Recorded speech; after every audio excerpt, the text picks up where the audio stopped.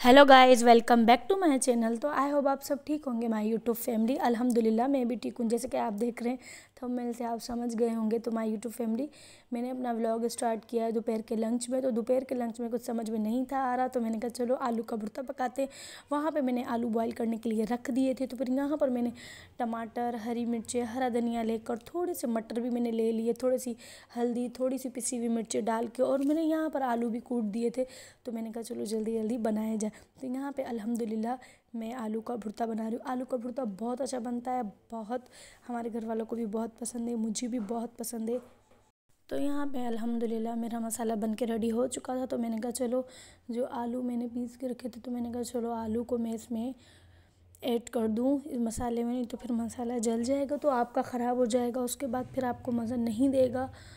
तो इसलिए तो फिर यहाँ पे फिर थोड़ा सा भून रही थी मैं इस मसाले को तो मैंने कहा, चलो अच्छे से बन जाए। तो प्लीज़ आप सबसे यही रिक्वेस्ट है तो मे, मेरी वीडियो फुल वॉच किया करो और प्लीज़ मेरे वन के करवा दो। यहाँ पर मैंने हरा धनिया भी कट कर कर रखा था और ये मैं थोड़ा भुना हुआ बना रही थी। भुना हुआ तो मैं बना रही थी, लेकिन मैं थोड़ा सा इसमें पानी भी ऐड करूँगी। फिर यहाँ पर मैंने आटा गूँध के रेडी फिर वहाँ पर मैंने मैंने बना लिया था सालन। फिर यहाँ पे मैंने तवा गरम करके आटा मैंने गूंद लिया था तो मैंने कहा, चलो जल्दी जल्दी करके रोटी बनाई जाए, क्योंकि सबको बहुत भूख लगी हुई थी। फिर यहाँ पर मैं रोटी बना रही थी, अल्हम्दुलिल्लाह। तो इसलिए आराम आराम से मैं रोटी सेक रही थी, क्योंकि गैस बहुत कम था आ रहा। तो मैंने कहा, चलो, ठीक है जल्दी जल्दी रोटी बनाई जाए। तो रोटी बनाने में तो कोई टाइम नहीं लगता, लेकिन बस गैस का इशू हो जाता है कि गैस बस बस कभी कम हो जाता है, कभी तेज़ हो जाता है। और यहाँ पे मेरा किचन थोड़ा सा फैला हुआ था सॉरी बट मैं खाना बनाने के बाद फ़ौर खाना नहीं खाती मैं पहले डीप क्लीनिंग करती हूँ, पहले किचन को पूरा अच्छी तरीके से नीट करती हूँ, बर्तन वगैरह वॉश करती हूँ। उसके बाद अलहमदिल्ला मैं खाना खाती हूँ। फिर यहाँ पे मैं रोटी को अच्छी तरीके से सेक रही थी। मैंने कहा, अच्छी तरीके से रोटी सेक जाए, क्योंकि फिर जितनी रोटी आप अच्छी बनाओगे तो इतनी फिर घर वाले कहते हैं कि अच्छी बनी है।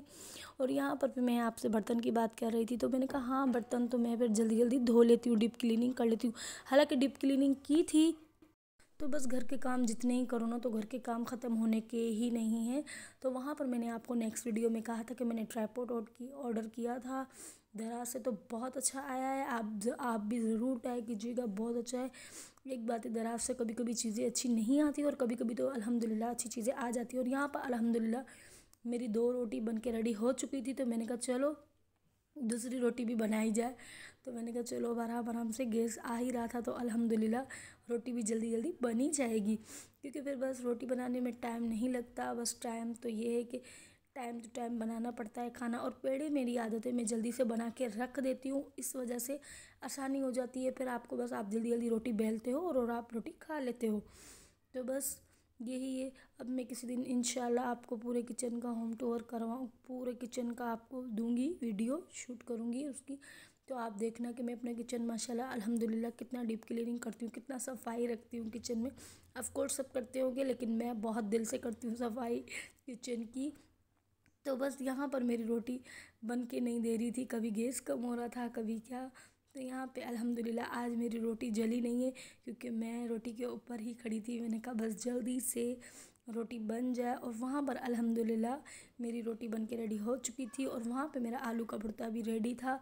माशाल्लाह, बहुत अच्छा बना था, सबको बहुत पसंद आया। और मैंने मटर भी डाले थे। मैंने कहा, चलो यार, आज न्यू स्टाइल का बनाया जाए।